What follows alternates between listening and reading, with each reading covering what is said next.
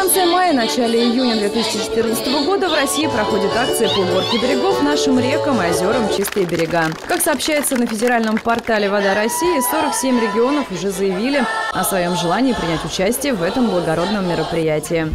К этой акции присоединился и наш город. Рязанские школьники и студенты убирали мусор в районе лесопарка, приводили в порядок берега реки Трубеж, рек Павловка и Плетенка. Мы решили своей организации присоединиться к этому мероприятию, потому что мы считаем, что места, где мы отдыхаем, должны быть все-таки убраны, и каждый должен убирать за собой.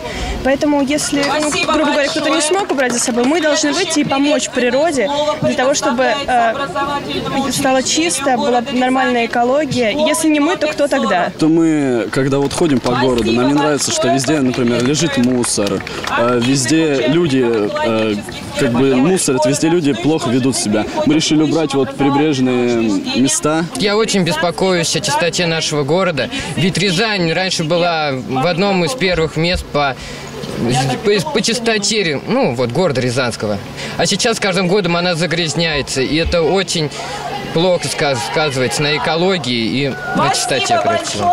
Проблема экологии уже давно приобрела глобальные масштабы. Но самое обидное здесь в том, что именно от нас самих зависит, каким воздухом мы дышим, какую воду пьем и в насколько чистом мире живем. Но мусор возникает, естественно, в первую очередь от людей, которые здесь отдыхают и не хотят убирать за собой. Но если они не хотят, приходится убирать нам, всем вместе. Э, поэтому я, как, э, как представитель вот природоохранного э, органа, контролирующего, правоохранительного, хочу сказать людям, отдыхающим, любите природу, не загрязняйте ее. Радует то, что неравнодушных людей становится все больше и больше. Все чаще проводятся подобные акции, собирающие многочисленных участников. И, конечно, хочется надеяться, что все же станем мы в конце концов ответственнее по отношению к природе, пока еще не поздно. Храня тревогу и тоску, мы бережем реку Аку. Она для нас красивее всех. Любить Аку – это не грех. Сплотим совместно наши силы и будем вместе до могилы.